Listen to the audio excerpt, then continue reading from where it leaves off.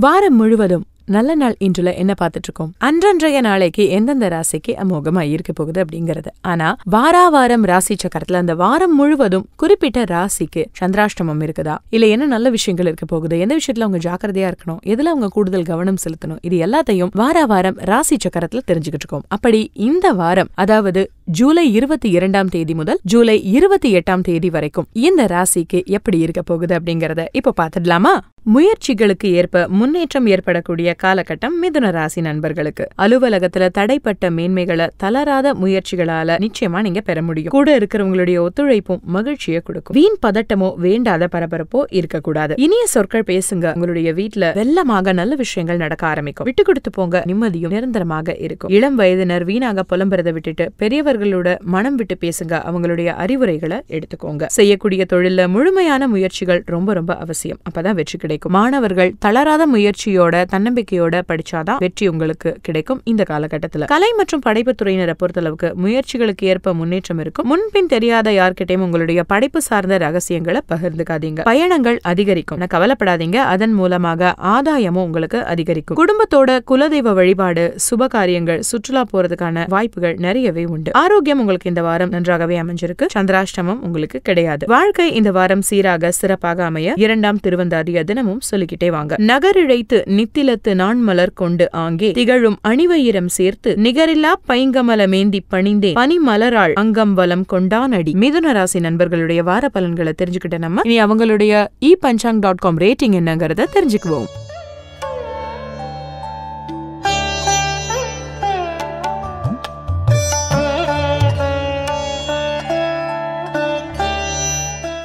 ஜூலை இருபத்தி ரெண்டுல இருந்து இருபத்தி எட்டு வரைக்கும் எப்படி இருந்தது அப்படிங்கறத தெரிஞ்சுக்கிட்டோம். இது இந்த வாரத்தினுடைய பலன்கள் தான். இனி அடுத்த வார பலன்கள் அவங்களுக்கு ஏற்றத்தை தரப்போகுதா? இல்ல எப்படி அவங்க கவனத்தோடு இருக்கணும் அப்படிங்கறதுக்கு அடுத்த வார ராசி சக்கரத்தை நீங்க கேட்கணும். இப்பஞ்சாங் டாட் காம அதுக்கு நீங்க சப்ஸ்கிரைப் பண்ணணும். லைக் பண்ணி ஷேர் பண்ணுங்க. பெல் ஐக்கானையும் மறந்துடாம கிளிக் பண்ணுங்க. உங்களுக்கான நோட்டிபிகேஷன்ஸ் வந்துகிட்டே இருக்கும். அடுத்த வார ராசி சக்கரத்துல சந்திக்கலாமா?